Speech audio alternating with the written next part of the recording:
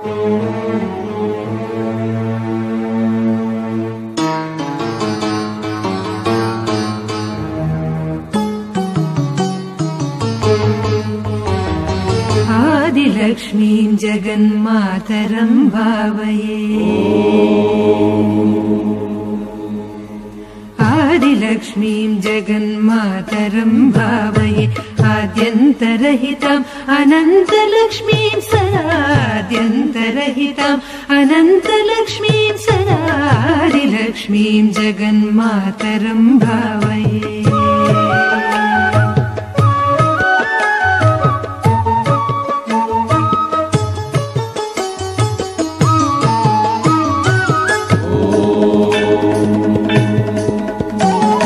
सूर्यचन्द्राग्नितेजो मण्डलान्तरम्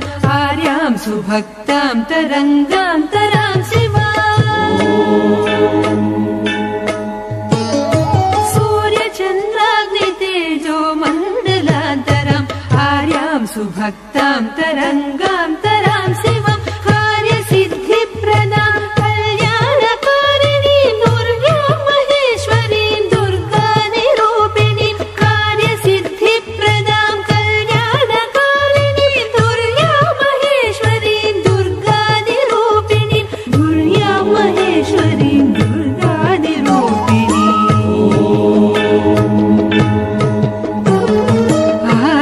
आदिलक्ष्मीम् जगन्मातरम् भावये आद्यन्तरहिताम् अनन्तलक्ष्मीम् सदा आदिलक्ष्मीम् जगन्मातरम् भावये